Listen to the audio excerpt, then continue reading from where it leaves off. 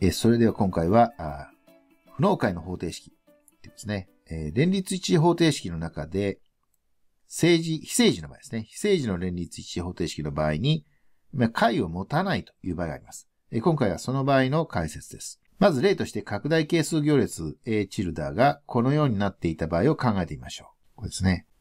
はい。これを行基本変形によって係数行列の部分を A を簡約化します。そうすると、このようにですね、変形されます。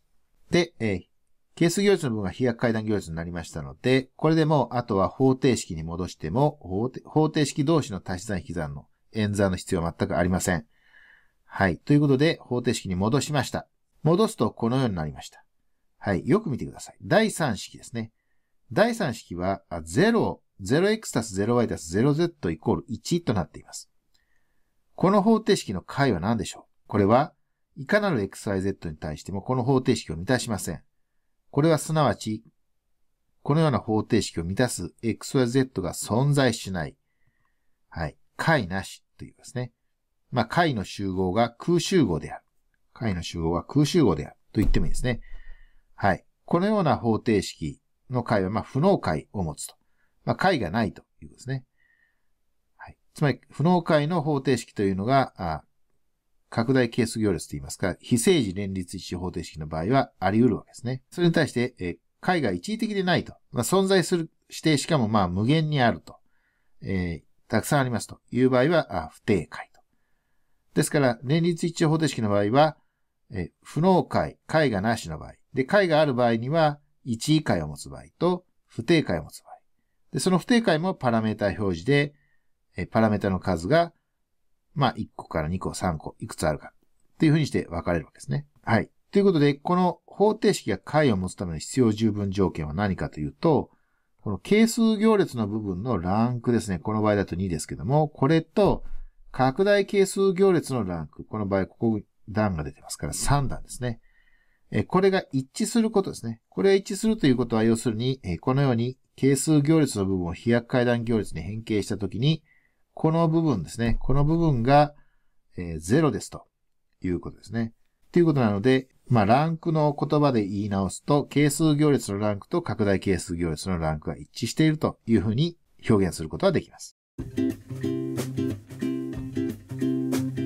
それではですね、拡大係数行列が以下の A で与えられている連立一次方程式が解を持つように定数 A の値を定めよう。えこの方程式ですね。これは、えこの拡大係数行列なんですけども、この右辺のこのベクトルの中に A という、まあ文字が定数変数が入っています。この定数 A の値によってはこの方程式が解を持ったりも持たなかったりする可能性があるわけですね。はい。で、この問題では、この方程式が解を持つように A の値を定めなさいと言っています。まあ、パラメータ表示は特特に要求してませんので、とえー、方程式が解を持つように A を決め決めるということですね。はい。それではこの問題をちょっとやってみてください。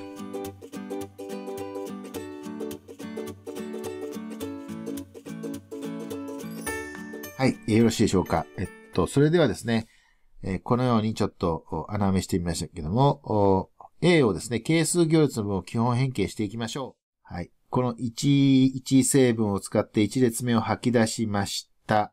今度は2列目進むと、この部分が000ではありませんので、何か一つ使いたいんですけど、1がないですね。1がないので、まあ、どっかで1を作って、この場合は何で1を作ったんですかね。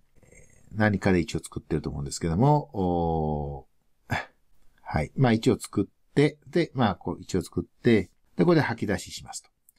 えー、227を使って第2列を吐き出します。そうすると今度ここにまあ、また段の予想でできますので、えー、この部分を変形するんですけども、ここをよく見るとここ、まあ、全部14の倍数になっていますので、112ですね。で、この112を使って、えー、この部分を吐き出します。で、その際ですね、まあ今、今回は解のパラメータ表示求めなさいっていう問題ではないので、もうここはもうちょっと上は吐き出さずにそのまま置いてますけども、はい。ということで、えー、下のとこだけ吐き出しすると、ここが11、ここ11ですから、ここ00になってですね。で、17倍して、112の17倍34をここから引いてますから、a-25 というふうになります。はい。ということで、ランクの A とランクの A チルダが等しいということのためには、A イコール25が条件。ということで、すなわち A イコール25が、A イコール25が求める条件。ということになるわけですね。